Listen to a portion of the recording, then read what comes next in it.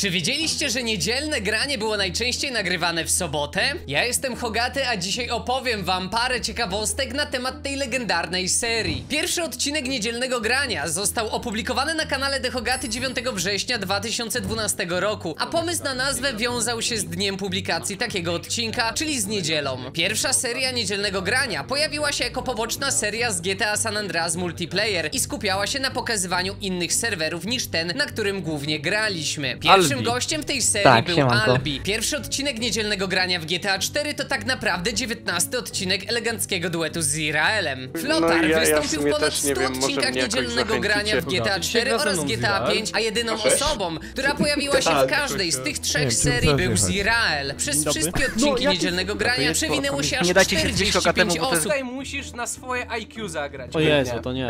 co? Zasubskrybuj po więcej ciekawostek ze świata GTA Online i YouTube'a.